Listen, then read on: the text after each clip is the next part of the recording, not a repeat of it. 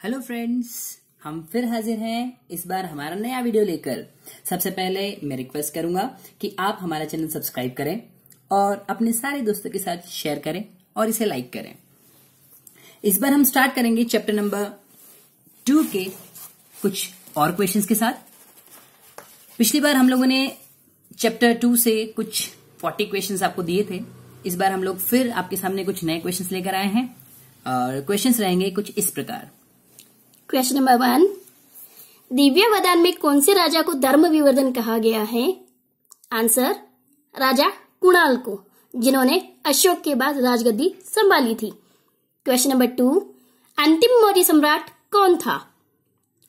उत्तर वृहदत्त अंतिम मौर्य सम्राट थे। क्वेश्चन नंबर थ्री भारत में पहली बार केंद्रीकृत शासन व्यवस्था की स्थापना किस काल में हुई थी? आंसर मौर्य काल में। क्वेश्चन नंबर फोर कौटिल्य ने राजा के कितने अंग निर्दिष्ट किए हैं? कौटिल्य ने राज्य के सात अंग निर्दिष्ट किए हैं।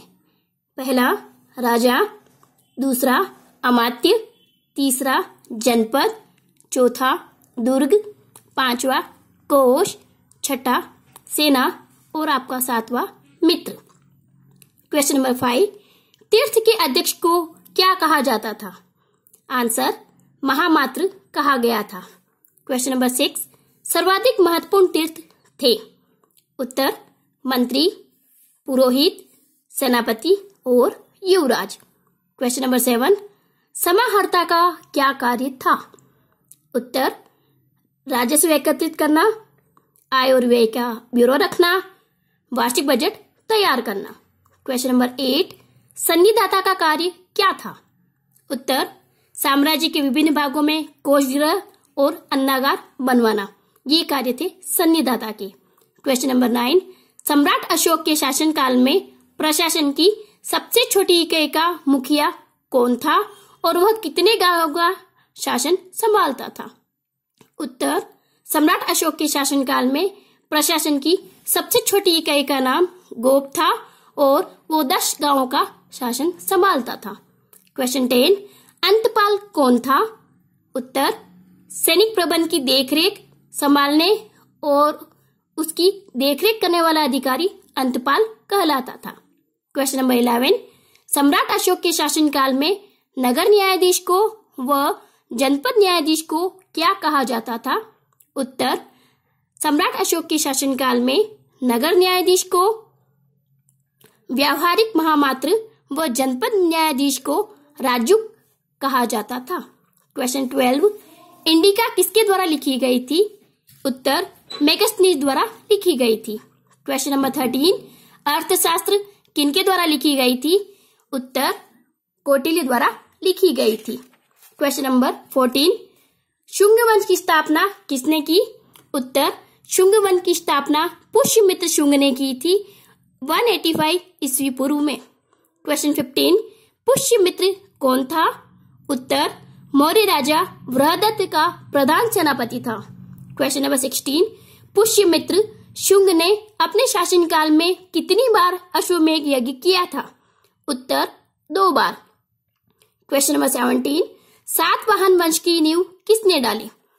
उत्तर सातवाहन वंश की नींव सिमुक नामक व्यक्ति ने लगभग सिक्सटी ईस्वी पूर्व में डाली थी। क्वेश्चन नंबर एटीन सातवाहन वंश और किस नाम से विख्यात था? उत्तर, आंध्र और सातवाहन के नाम से विख्यात था।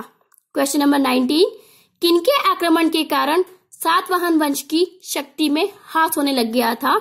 उत्तर, शकों के आक्रमण के साथ सातवाहन वंश की शक्ति का हाथ होना शुरू हो गया था। क्वेश्चन नंबर ट्वेंटी सातवाहन वंश के शासक कौन से धर्म के अनुयायी थे? उत्तर, हिंदू धर्म के अनुयायी थे। Question number twenty one. सर्वप्रथम ब्राह्मणों को भूमि अनुदान में देने की प्रथा कौन से वंश से प्रारंभ हुई थी? उत्तर सातवाहन वंश से प्रारंभ हुई थी। Question number twenty two. Deccan में चैत्य विहार जो वास्तुकला का अद्भुत उदाहरण है, कितना मीटर लंबा व ऊँचा है? उत्तर 40 मीटर लंबा व 15 मीटर ऊँचा है। Question number twenty three. Gupta वंश का संस्थापक कौन था? उत्तर श्री गुप्त गुप्त वंश के संस्थापक थे। Question number twenty four Ghatotkacha के बाद गुप्त वंश का शासक कौन बना? उत्तर, घटोत्कच का पुत्र चंद्रगुप्त। प्रथम जो था, वह गुप्त वंश का अगला शासक बना। लिच्छवी राजवंश, लिच्छवी वंशजा कुमार देवी का विवाह किससे हुआ? लिच्छवी वंशजा कुमार देवी का विवाह चंद्रगुप्त प्रथम से हुआ। क्वेश्चन नंबर ट्वेंटी सिक्स गुप्त संवत किसने चलाया?